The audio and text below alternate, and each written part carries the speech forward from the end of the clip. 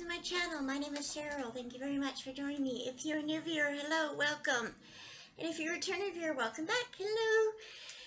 Okay, so first of all, I apologize for the quality of this video because the camera is pixelated. I don't know why.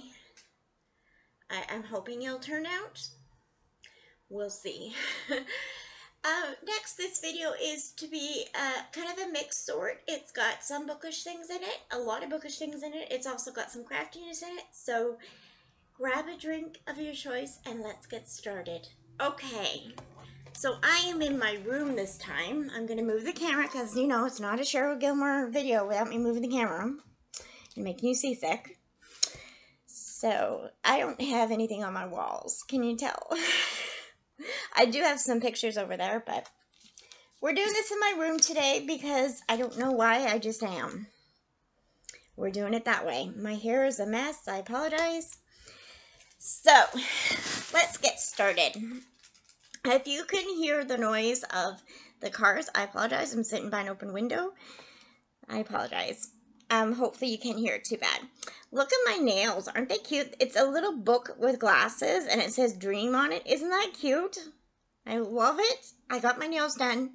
If you live in Maple Ridge, go to Diva's Hair and no Diva's Nails. I think it's called. It is so cool. It's at Haney Place Mall. I love that place. They are so nice and they do such a good job. Anyways, I got a pedicure too, and it was really relaxing. Okay, so we're going to start with some craftiness. I don't have um, a lot of finished objects. You know what? I'm going to put my camera back up here. If you know, um, I mean, you know that my camera is just my webcam because I can't afford a camera. So, it's not a very good quality. Let's start. Okay, so, if you've been watching my channel for a while, like for the last year or two, you will know that I was working on a blanket for my dad and stepmom.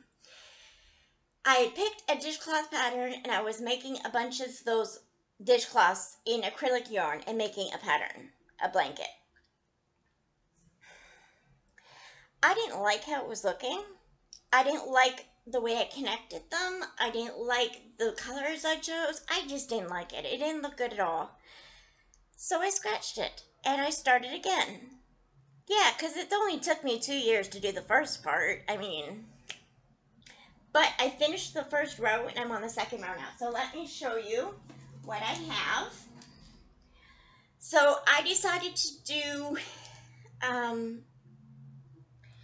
two row, one row of red and white alternating, then two rows of, um, and then one row of light pink, no, bright pink and then light pink alternating, and then another row of light pink and then bright pink alternating, and doing that through all the colors up. So, does that make sense? I don't know. If you know this pattern, um, I can link it below. It's a free dishcloth pattern. It's a little heart. Can you see the heart? There's the heart. So I've got this done. So I've got the top. Um, or actually this is the bottom. There's the bottom. And then I've got this. I got two pinks done. And I got the red and white done. So yeah, I think it looks good. I like how I connected them this time. I just used the whip stitch, I believe, and I think it looks a lot better. I think it's called the whip stitch. I'm not sure.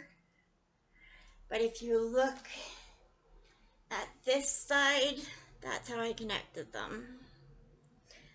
So I like this blanket. I think it looks a lot better. I think I planned out the colors a lot better. So I meant for the red and white to be the top, but I think I have it as the bottom because I've got it upside down. So it's going to be the bottom. I might put red and white on the top as well. We'll see. But I'm going to do two rows of pinks, two rows of blues, two rows of purples, and two rows of green. Maybe not green, I'm not sure. And then possibly put another another row of red and white on top. No, purple. Did I say purple? I need to do purple too because that's one of her favorite colors. So, purple, pink, blue, and then red and white. So it's getting done. I did all these in the last like two weeks, so very happy with that. Then I purchased a pattern just the other day, about a week ago. I purchased a pattern. I forget what it's called. Oh my goodness, I forget what it's called. I'm really prepared, aren't I? Hold on, I have it um set up on my computer. I can just go check. It is called the Richland. The Richland um, what is it called? Richland Shawl? Hang on. It's just called Richland. It's a lace shawl pattern by D. O'Keefe. I will link the Ravelry page below, in the description box below. And it is a beautiful shawl, and I loved it. And so I bought the pattern. It was like how much was it? Eight dollars Canadian, I think. So not too bad. And I started it. I can't put a picture of the shawl up because I don't edit. I don't know how to edit. If if any of you are watching who have a YouTube channel, if you know how to put a picture up in the corner, could you let me know on how to do that? Because I can't figure it out. I don't know how to put a picture of like a book or of a pattern or something up in the corner, and I don't know how to do that. So if you have a YouTube channel and you know, could you let me know? I'd appreciate that. Thank you very much. Because I can't figure it out. So this pattern is really cute. So I started it. I'm using this yarn. Um, my room is a total mess. I barely have any room to walk in here. So I had, I took off the band and I don't know where I put it. So I apologize no, I think I threw it away. I mean, that's one thing I think I actually threw away and didn't just put on my floor. Horrible. But it's very pretty. It's sparkly. Got it from Walmart. So, here it is, which is the right side. I think this is the right side. Can't really tell, but there's, okay. So you start on this side, on this corner, and then it goes up here and there's some ridges there like that and it's just so pretty look at the big long ridge here it goes like that it's just so pretty and then this side's pretty too it's got oh you just gotta see it in real life it's really pretty so I mean you can see all the ridges the like different things here like right right here are bumps and it's just so pretty. So I started that. There's like six charts to do the whole thing and I don't do the chart. They, in the pattern there's also the written pattern so that's cool because I don't like charts. and um, there's six charts and six written parts and then some of the charts you do twice. So I'm on chart three on my second time doing it, chart three. So then I go into chart four. I call it chart, but that's what they call it for the written pattern too. So it's just separate sections, like section three is chart three. So I'm very excited to work on that. I'm really enjoying it. It's a really a, quite an easy pattern. I'm learning new stitches. She explains how to do the stitches. She um, leaves links in the pattern to uh, for video help on video tutorials on how to do the stitches, really good video tutorials. I really enjoy it. It's a really good pattern. I learned how to do the right twist, which gives you these little ridges right there. Um, what else did I learn? There was another stitch I learned. I don't remember what it was now, but I do have extra holes. I have this hole right here that I don't think is supposed to be there. I messed up a couple times, but I'm proud of it. I'm really proud of it. So, I really don't think this hole is supposed to be here, but, yeah. I'm enjoying it. I'm using size 4 millimeter hooks, I believe. Or, not hooks, needles. This is knitted on circular needles. Needles? Needles. Circular needles. That's a new word, people. You heard it here first. Needles. Then I've been making a dishcloth. So um, I just started this yesterday. I'm making it in Christmas colors. So this is just the um, um, corner to corner. What is what is that pattern called? It's by PJ something. Can't think of the last name. PJ something. and it's the um, Nana's favorite or Grandma's favorite dishcloth, something like that. It's just the corner to corner one. I've been doing that. Then I've been making, thinking about making some baby things for, um, for our local hospital as a Christmas gift. Make some baby things to donate. So I did make some hats, but I can't find them because I wasn't. I don't have a place to put them yet, so they're kind of all over, and I couldn't find them. But um, I did make I just have four more rows to go on this. This is an angel baby blanket, which is for babies that die, um, that are born way premature and pass away, unfortunately. So I am making that. And this is it right here. I think I made it too small, actually, now that I'm looking at it. But this pattern is just, I just made it up myself. It's knitted, it's acrylic yarn, and I just did four rows of ribbing, which was knit one, purl one. And then I just did um, stockinette. I knit one row and purl the next all the way up. So, yeah, I don't know what color it is. It's obviously, it's purple. It looks kind of blue on the pattern on the computer, but it's purple. I don't know. I have the sizes of angel baby blankets, um, but I didn't measure this yet, so I'll have to do that. Yeah. And I made, um, hang on, where'd it go? Where did the finished one go? Uh, doo -doo -doo Oh, here we go. I made some baby slippers. So I made one pair. One pair is almost done. I will link the pattern below. It is a loom knitted pattern. It is loom footsies, I believe, or little footsies, something like that. And it's, I haven't weaved in the ends, but it's just a cute little, little sock. So cute for newborns. I finished the next one in that pair, but I haven't taken it off the loom yet. This is the flower loom. 12 um, pegs. oh, sorry. I really like loom knitting, so if you haven't tried it, you should. I really enjoy it. And that's all my WIPs and finished objects. So, um, let's get started with the bookish things, shall we? My hair is a mess.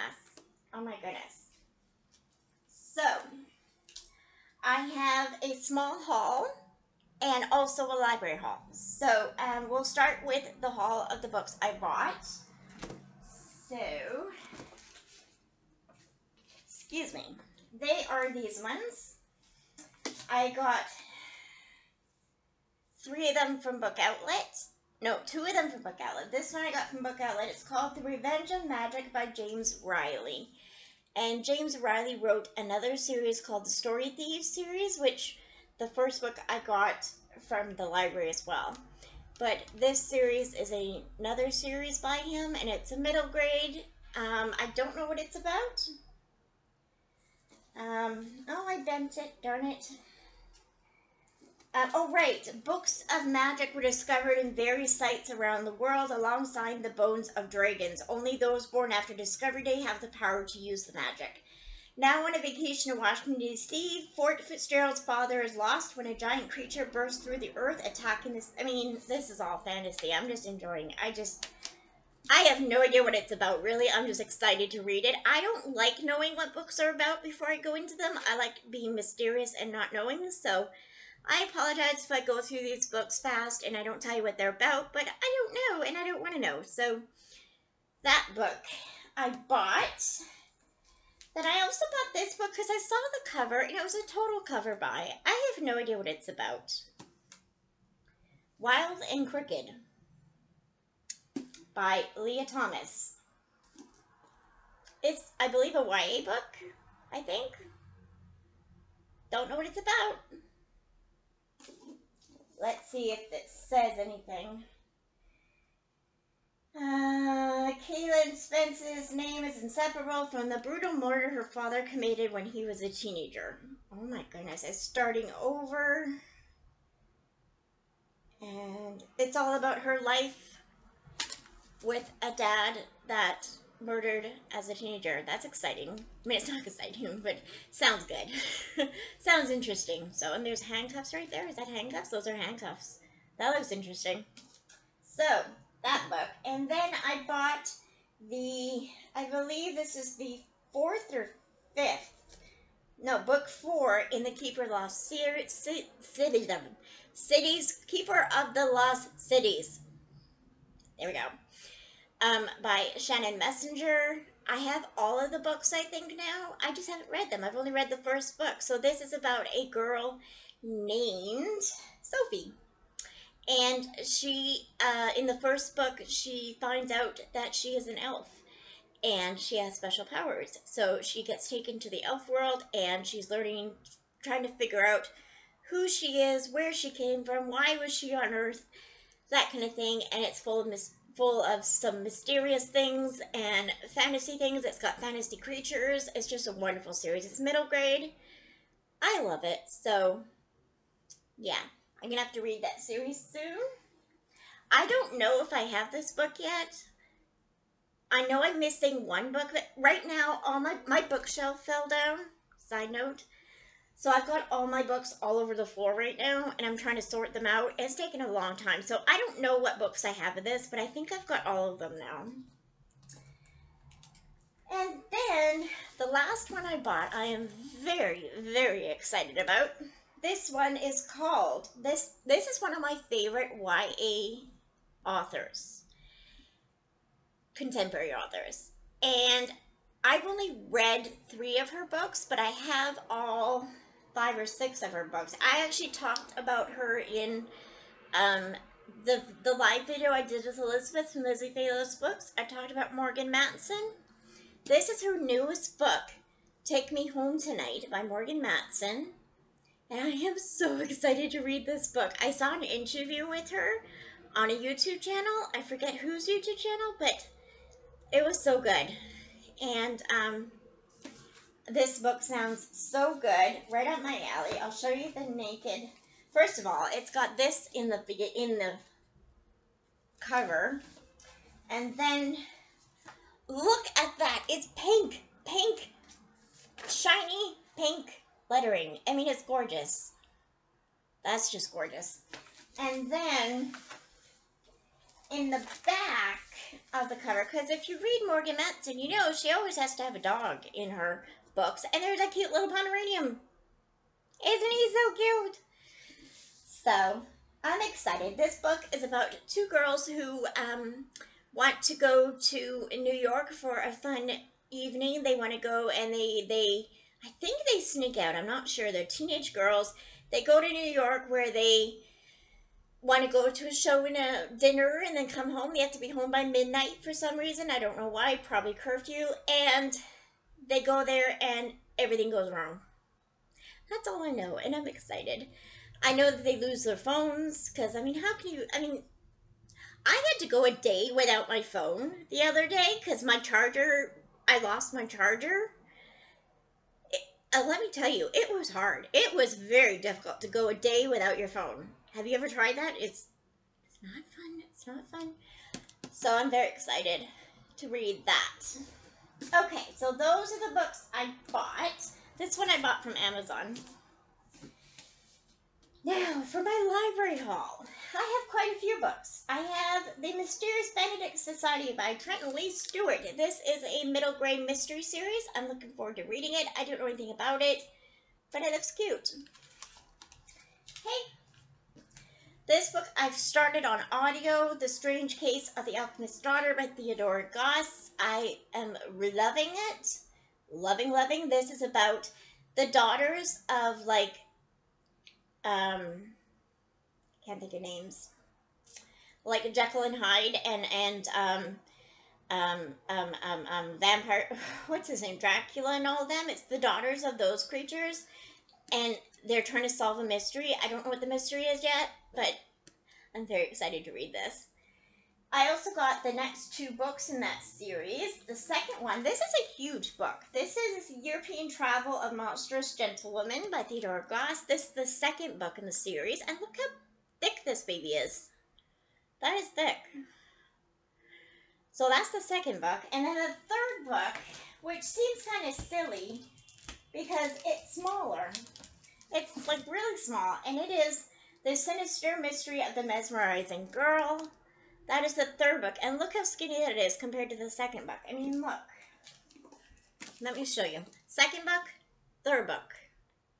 I mean, who knows? But okay, we'll we'll deal with that. So I'm looking forward to reading that series. I'm enjoying it so far. Then I have the third book in the Train to Impossible Places novel, which is a middle grade. This one is Delivery to the Lost City by P.G. Bell. I am almost finished it. I am enjoying it very much. This book is about, what's her name? I'm so bad at names.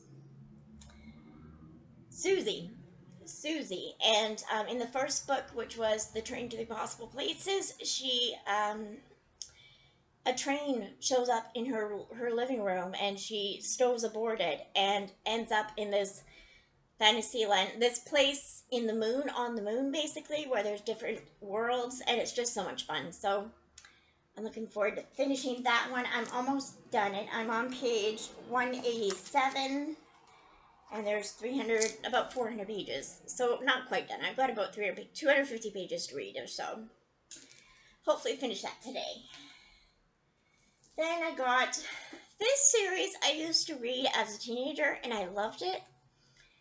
And I, I used to own a bunch of them, but I gave them away, and now I'm really mad about that, which is why I don't like getting rid of books. Sorry. I don't like getting rid of books because I always regret it sooner or later. So this is the Christy Miller collection. These are, this is volume three, which is books seven to nine. Christy Miller, this is by Robin Jones Gunn. Christy Miller is a young girl in the series um, dealing with school and first love and God and everything. It's a Christian fiction. Um, this the books in this is True Friends, Starry Night, 17, and Wishes. And I got this because I think the book 17 was my favorite book. No, 17 Wishes. That's what it's called. I think that was my favorite book out of the whole series. So I'm looking forward to reading this.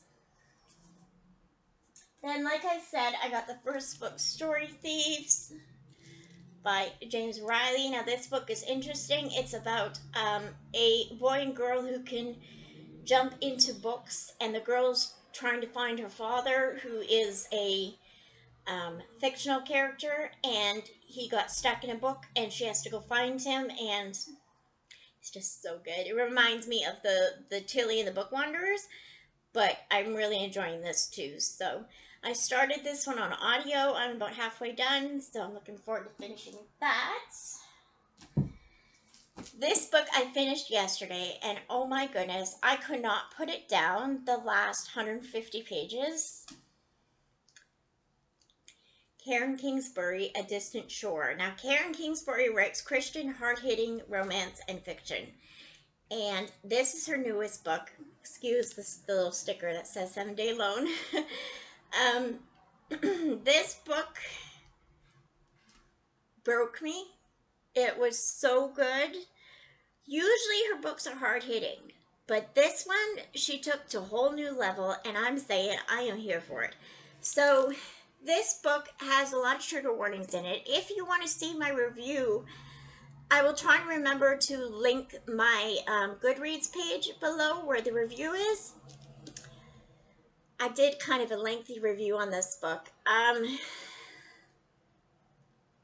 this book is about uh, sex trafficking of children in Belize. And um, it I cried. It was beautiful. It's got a romance in it. Um, I don't even know where to start. so it's very disturbing when you know what's going on and that it happens in real life, the human trafficking. But it's a book full of hope and God's love and God's hope and God's redemption. And um, it's just a beautiful book with a gorgeous romance. It's got God in it, um, which, I mean, just was beautiful if you're a Christian. And even if you aren't a Christian, this book is really a beautiful book. It does have quite a bit of Bible verses in it. In the beginning of each chapter, there's a Bible verse, which I loved personally. Um, there is a a lot about talking about God in this book. I really enjoyed it. If you are a Christian, pick this book up. As long as it doesn't bother you trigger wise, learning about human trafficking. It doesn't get graphic because this is a Christian book. So it doesn't get graphic, but it it tells and shows enough that you know what's going on and it's it's um, really rough to read about. But in the end, it's just so good. So good. I gave this five stars. I would give it six stars if I could. It was just the best book. Every time I read a Karen Kingsbury book, I think it's my favorite. This one, I think, really is my favorite. I love this. I want to buy this book. Um, next month, when I get my next check, I'm definitely buying it. So, love this book. Totally recommend. Okay. I showed that one. Then I got Caraval by Stephanie Garber. I don't know if I'm going to read this or not. I'm not sure, but um, I don't really know what this is about. It's a YA, I believe. I've just heard things about it. Um, I know it's been compared to The Night Circus, which is another book that I put on hold from the library, so who knows? We'll see. Then I got some cozy mysteries. I got Lauren Lauren Bar Laurien Berenson Bite Club.